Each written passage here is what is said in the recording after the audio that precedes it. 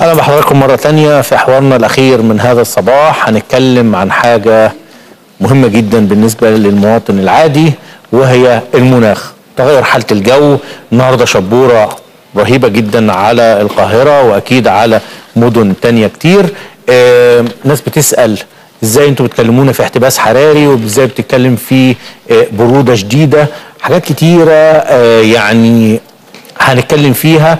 وخاصة إن امبارح اختتم المؤتمر آه الدولي حول المناخ اللي كان في باريس بإعلان تاريخي. خلونا نعرف كل الموضوعات ديت واسمحوا لي إن أنا أرحب بدكتور مجدي علام أمين عام اتحاد خبراء البيئة العرب. أهلا بحضرتك معانا يا دكتور. أهلا وسهلا. آه دكتور مجدي طبعا يعني أسئلة كتيرة طبعا الناس سألتها بس خلينا نطلع الأول نعرض على الجمهور. تقرير يلخص لنا الموضوع ونبدأ نتحاور مع حضرتك. تتمثل أبرز نقاط الاتفاق الذي تم إقراره السبت الماضي بالعاصمة الفرنسية باريس في ختام قمة المناخ في الحد من ارتفاع الحرارة أدنى بكثير من درجتين مئويتين ومراجعة التعهدات الإلزامية كل خمس سنوات وزيادة المساعدات المالية لدول الجنوب. كما تعهد المجتمع الدولي بحصر ارتفاع درجة حرارة الأرض وإبقائه دون درجتين مئويتين وبمتابعة الجهود لوقف ارتفاع الحرارة عند واحد ونصف درجة مئوية. وتم تحديد هدف الدرجتين المئويتين قياسا بعصر ما قبل الصناعة في كوبنهاجن عام 2009 مما يفرض تقليصا شديدا لانبعاثات الغازات المسببة للاحتباس الحراري باتخاذ إجراءات للحد من استهلاك الطاقة والاستثمار في الطاقات البديلة وإعادة تشجير الغابات.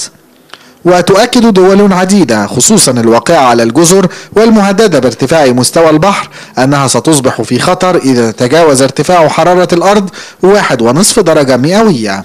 وأعلنت 186 دولة من 195 عن إجراءات للحد من تقليص انبعاثاتها من الغازات الدفيئة في أفق الفترة ما بين 2025 إلى 2030 لكن حتى في حال احترام هذه التعهدات فإن ارتفاع درجة حرارة الأرض سيكون بنحو ثلاث درجات مئوية.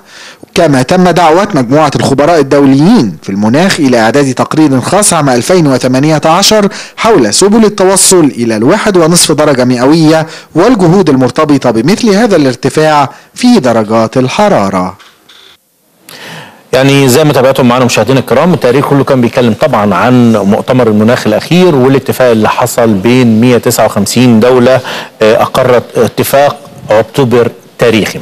ارحب مرة تانية بالدكتور مجدي علامة أمين عام اتحاد خبراء البيئة العرب. أهلا بحضرتك معانا. أهلا وسهلا.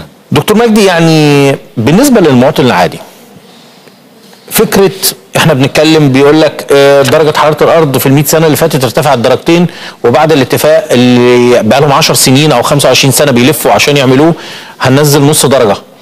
المواطن العادي يقول لك يعني أنتوا عاملين كل وجع الدماغ ده وال 100 مليار عشان نص درجة عايزين نفهم الناس يعني إيه ارتفاع درجة حرارة الأرض. ويعني إيه تغير مناخي ويعني إيه احتباس حراري؟ ببساطة. هو الحقيقة طبعا في دورات طبيعية ربنا سبحانه وتعالى خلق عليها الكرة الأرضية في علاقتها مع النظام الشمسي. نعم. في درجة دوران الأرض ودرجة ميلها في. مدارها وتعرضها للشمس آه وفي ده بيخ... ده دورة طبيعية. واللي بينتج عنه الصيف والشتاء والربيع والخريف فصول اللي إحنا عارفينها لكن يرتبط بهذا في دورات ثابتة للرياح والأعاصير والأمطار والسيول والفيضانات وغيرها من دورات الطبيعة التي تشكل المناخ. الحديث يمكن وده طبعا مرتبط بالزراعة وبالغذاء وبال- حاجة كل بحياة حاجة البشر وحياه البشر كلها، نفسه. بحياة البشر صحيح. كلها. هو طبعا ما حدش يتخيل مثلا إنه المناخ ده ال- اللي بيحيط بالكرة الأرضية واحد هيجيب مفتاح مثلا ويزود درجة البرودة ويزود درجة الحرارة. الكلام ده مش صحيح لكن انت مثلا التأثيرات اللي إحنا بنتكلم عليها كان في جدل هي ده تأثيرات طبيعية اللي حصل ولا مش طبيعي؟ استقر كل العلماء على إنه أسبابها أسباب بسبب تصرفات ونماذج التنمية اللي تمت بالذات منذ عصر الثورة الصناعية. ودي خدت لها حوالي 200 سنة. يعني في ال 200 سنة دول اتغير آه، القياسات بتاعت درجة الحرارة اللي كان متوسطها درجة واحدة كل 100 سنة بدأت درجة الحرارة ترتفع علشان توصل درجتين. وعشان توصل درجتين معناها في نهاية القرن الواحد وعشرين 2100 يبقى متوقع توصل أربع درجات. هنا بقى الخطورة إنه الناس قالت لا يمكن الكرة الأرضية ولا البشر هيتحملوا الأربع درجات لأنها تأثيرها هيبقى رهيب على ذوبان الجليد في القطبين وعلى الجفاف وعلى ارتفاع درجة حرارة النباتات لا تتحملها وعلى الصحة نفسها عودة كل الأمراض الاستوائية وعودة الملاريا والسل والتيفويد وإلى آخره. فده اللي خلى الناس من 25 سنة ومن سنة العلماء اللي هم 92 تحديداً. الأرض في 92 كان التوقيع بالأحرف الأولى على إطار عام للاتفاقيه إطار عام. تمام. يعني حتى هذه اللحظة كان إطار عام إلى أن قرر آه، مؤتمر باريس يخليها اتفاقية بمعنى اتفاقية ملزمة للدول اللي هتمضي عليها في أربع مجالات. المجال الأول هو مجال تخفيف الغازات اللي طالعة بتأثر على المناخ. المجال الثاني هو التكيف وده اللي إحنا بنتخانق عليه وده اللي الرئيس السيسي راح فرنسا مخصوص باسم افريقيا عشان يقول إحنا بندفع ثمن حاجة إحنا ما تسببناش. فيها. لأن أوروبا والدول الصناعية آه، تمتعت بثورة البخار وبثورة الفحم وبثورة البترول وبثورة الغاز وال- والنووي. كله. إحنا ما لحقناش ناخد حاجة في التنمية كأفريقيا. صحيح. فكان نداؤه إنه طب يا جماعة إحنا مستعدين نعمل مبادرة وأطلق مبادرة الطاقة الجديدة بالنسبة لأفريقيا. بس هتديني محطة الطاقة الشمسية بكام؟ وهتديني محطة الرياح بكام؟ هو ده الثمن اللي إحنا كنا بنقول ساهموا معانا. لأول مرة تستجيب الدول الصناعية. ده الجديد في الموضوع. وقالوا هندفع 100 مليار دولار كل سنة في صندوق يسمى صندوق الأخضر لدعم الدول النامية المتأثرة بتغير المناخ. وده نجاح كبير الحقيقة. في مفاوضات شاقة خدت أكتر من 20 آه، سنه لأنه إطار كيوتو آه، كان هيخلص آه، 2020 فكان لازم صحيح. يبقى فيه إطار بديل في- وتسريع للموضوع. طيب برضو هنرجع عشان المواطن البسيط المواطن المصري سامع درجتين زيادة في درجة الحرارة احتباس حراري آه الصيف بقى صعب طب ما يا جماعة ما الحرارة زادت الشتاء بقى صعب جدا هو برضو المواطن البسيط مش قادر يفهم يعني إيه تغير مناخي وهل لما زادت درجة حرارة الأرض هل المفروض إن إحنا نفضل الدنيا تبقى حر على طول حتى في الشتاء؟ لا لا هو ظاهرة الاحترار دي أو ارتفاع درجة الحرارة هي إحنا بنتكلم على ارتفاع درجة حرارة سطح الأرض. مم. ده بالتحديد يعني. سطح الأرض. سطح الأرض. ده بيأثر على الدورات المناخ الطبيعية كلها سواء رياح أعاصير أمطار لكن التغير المناخي أساسه إنه ممكن نفس الموسم المدة بتاعته تقل أو تطول. مم. وممكن تحس إن الشتاء جه بدري أو جه متأخر. وبعدين تاني عامل عمق الظاهرة. يعني يعني كان درجة متوسط مثلا الشتاء في القاهرة يبقى من آه، 14 ل 19 تنخفض تبقى من 10 إلى 17 فده في فترة الشتاء. والصيف العكس ترتفع أكتر. تلاقي شهر يوليو وأغسطس عامل شوتنج ارتفاع درجة الحرارة زايد 10 درجات أو 8 درجات. فنفس الظاهرة الطبيعية المدة بتاعتها يا تقل يا تزيد العمق بتاعها يا يقل يا يزيد التأثر بتاعها بالتالي وأماكن حدوثها بتمتد. وده اللي حصل في النوات بتاعت اسكندرية. النواه بتاعت اسكندرية متوقعة بس عمرها ما جت بهذه الشدة الشدة، مثلا. آه. لأنه نزل المطر في تسع ساعات يساوي تسع شهور. وطبعا ده اللي حصل في الشدة كمان. وحصل تغيير في الميعاد وحصل تغيير في الأماكن. كانت بتبقى قصر على اسكندرية وصلت لا للبحيره ووصلت لغاية كفر الشيخ. ده ده التغير المناخي بقى. زي ما إحنا شفنا الشتاء السنة اللي فاتت يعني درجات الحرارة نزلت لغاية صفر. لا والمرة يعني يمكن من المرات النادرة إن مصر ينزل عليها تلج. تلج. ومتوقع السنة دي على فكرة ينزل. ينزل سلوك. طيب تأثير ده بقى على المواطن العادي. هو برضو المواطن عايز يفهم تأثيره عليه إيه؟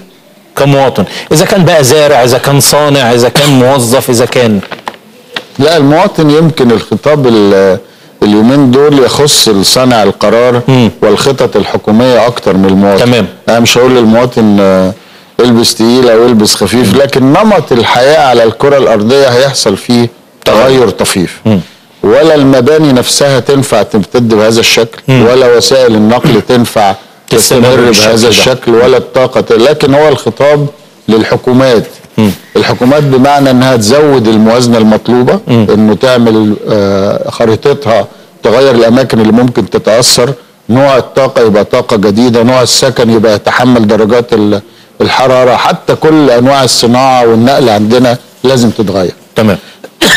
طيب دي نقطة مهمة جدا. إذا كنا إحنا بنكلم الحكومات المواطنين يعني مثلا الحكومة صوتها اتنبح من عشر سنين على قصة مثلا حرق قش الرز.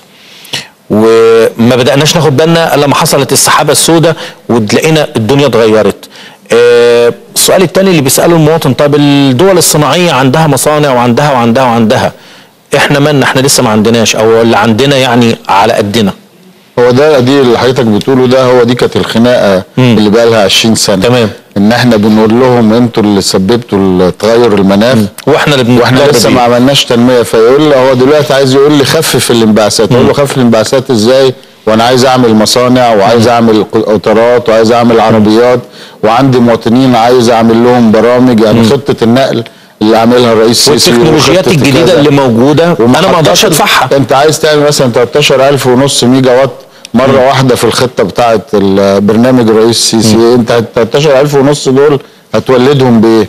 يا بترول يا بغاز يا بفحم. يا بطاقه نووية. صحيح. فأنت في جميع الأحوال بتقول له اديني فرصة. هنا بقى في المفاوضات كان على إيه؟ يقول لك طب بدل ما تخفف الانبعاثات في 10 سنين أنا موافق لك تخففها في 50 سنة. وأقول له هو أنت خفف في 10 سنين.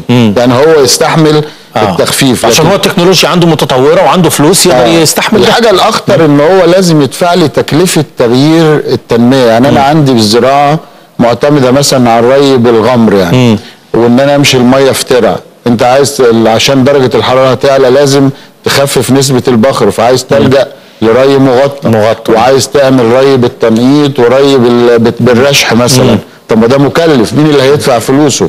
بقول له ادفع لي انت فلوسه. بقول له الامن الغذائي عندي هيتأثر لأن اللي انت عملته كدول صناعية في المناخ هيخلي المحاصيل عندي انتاجها يقل من 15 ل 25% فأنا تمام. كل دي كانت مطالب لأفريقيا آه، آه، عرضها الرئيس السيسي في مؤتمر المناخ علشان يقول لهم يا جماعة ادفعوا معانا ثمن التنمية اللي إحنا هنخسره ما هو انت هتغير بقى نمط حياتك فانت تمام. عشان تغير وبعدين تيجي تشتري التكنولوجيا الحديثة الصديقه للبيئة تلاقيها غالية تقول له طب صنعها لي يقول لك لا ما ادركش ما ادركش سر يعني التصنيع. يمكن بالعافية كده الهيئه العربيه للتصنيع خدت السنة دي آه يعني حق إنتاج ال- ال- ألواح. الطاقة. الشمسية في مصر ودي كانت حاجة كويسة النموذج ده بقى عايزينه يتكرر يعني إحنا بنقول له طب ما هو لو اداني هو النو هاو أو التكنولوجيا عشان اصنعها بتبقى أرخص. طبعا. لكن هو بيحتفظ بكل تكنولوجيا جديدة. لمدة يحت- 10 15 آه، سنة على الأقل. بيها عشان ينزلها بالسعر اللي هو. ال- الخلاصة إن تغير المناخ هيفرض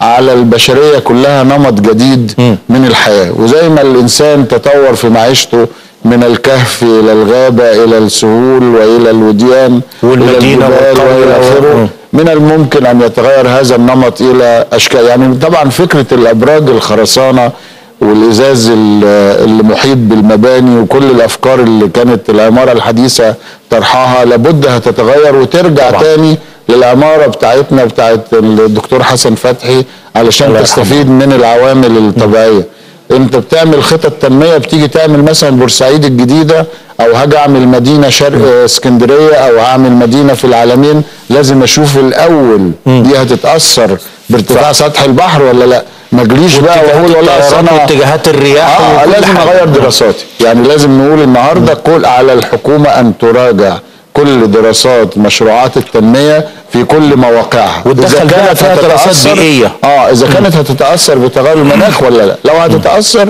نبعد عنها عشان ما اجيش بعد 10 15 سنة اضطر إن أنا أهدي المدينة وأبني مدينة جديدة. مظبوط. لا والمشكلة إن أنت دلوقتي التوقعات بتبقى نسبية. يعني إحنا كنا بنقول هيحصل الكلام ده بعد 50 سنة. إحنا حصل بعد بعد 25 25 سنة. لا ما, ما تقدرش تقول التوقعات دقيقة قوي لأن نتوقع. لأن هو في الآخر. توقع. صحيح طيب. مبني على نماذج رياضية بس توقع. طيب دكتور مجدي آه، في آه، إحنا بنكلم الحكومات. إحنا شفنا دول أوروبا دلوقتي في منعت مجموعة من الصناعات وعلى رأسها صناعة الإسمنت مثلا وبدأت تصدرها للدول النامية. هل ده في مصلحتنا ولا لأ؟ ليه الدراسات البيئية واللي إحنا بنتكلم عليه و و وكل ده كله الحكومة ليه ما بتاخدش بالها منه؟ والحقيقة برضو بكل تجرد آه الصين والهند لما جم آه، أما نتكلم على أول اتفاقية في تغير المناخ سنه 92 الصين والهند قالوا لهم لا إحنا تسيبونا بقى نعمل تنمية براحتنا وبعد إيه 30 40 50 سنة نتكلم. فمن غير زعل كده يعني لكل خبراء البيئة. آه مصر من حقها تعمل تنمية وبعد كده نتكلم. فهيديني مصانع أسمنت ومصانع حديد. لو قدر استطاعتي لو عرفت أجيب الجديد أهلا وسهلا. لكن لو مش هعرف أجيب الجديد وعندي القديم أرخص إيه الحل بقى؟ ما احطوش في كتله سكنيه. احطه في نظام مفتوح وأنا مصانع الاسمنت اللي في ترى عندي دي لو موجوده جوه الصحراء كانت عملت مشكلة؟ لا. لأن طول ما التلوث بياخد مكانه لما يطلق عليه الطبقات العليا للهواء انت ما بتحسش بيه لكن بتحس بيه في القاهرة عشان إحنا بنقول القاهرة دي زي الأواني المستطرقة. انت عملت العمارات ارتفاعها 150 متر ولا 200 متر فالهواء الملوثات ما بتطلعش بتدور في الشوارع. فأنا كل اللي بقول لك لو أنت كحكومة مضطر إنك تجيب تكنولوجيا قديمة عشان رخيصة هاتها بس حطها طب سريعا بس عشان إحنا وقتنا خلص. فكرة استخدام الفحم. لا أنا ضد فكرة استخدام الفحم على الإطلاق خصوصا ان ربنا كرمنا والخير على. دوم الوردين وجالنا الحقل بتاع ال- بس الحكومة مصممة برضه. الغاز. لا ما أعتقدش يعني هم كانوا مصممين قبل لا أعتقد ممكن يراجعوا موقفهم. وإحنا داخل عندنا الغاز الخطة اللي اعتمدها الرئيس السيسي ان 25% من الطاقة تبقى طاقة شمسية وطاقة رياح. انت داخل في محطة طاقة نووية هتشتغل بعد خمس سنين. إن شاء الله. مفيش داعي بقى الموضوع الفحم. الفحم لمن لديه فحم؟ مم. أنا ما عنديش فحم. ده أنا عندي شوية فحم كده آه، وهستورد الباقي. يعني في منجم المغارة ما يقضوش محطة يعني. وهستورد الباقي. لا اللي يستورد لا. يعني صحيح بيبان ليك أرخص آه. بس على المدى الطويل هو أسوأ. أسوأ في كل المجالات في كل يعني. المجالات. وخصوصا إن عندك مخلفات. عندك مشكلة زبالة. حول المخلفات دي لفحم ودخله لمصانع صح. اسمنت ونجحت في مصر. جربوها ونجحت في مصر. بس التعميم بقى. آه. دكتور مجدي علام أمين عام اتحاد خبراء البيئة العربية بشكر حضرتك على وجودك معانا. وطبعا على الفكرة السريعة اللي إحنا حبينا نوصلها للمواطن. ده اللي بشكركم على اهتمامكم بتغير المناخ. بشكرك يا دكتور. مشاهدينا الكرام بالطبع يعني تغير المناخ وواحد من القضايا المهمة اللي بتهم المواطنين وبتهم العالم كله. بهذا يعني الحوار. أنهينا هذا الصباح ودائما هذا الصباح مستمر معكم من السابعة حتى قبل العاشرة بقليل. إلى اللقاء.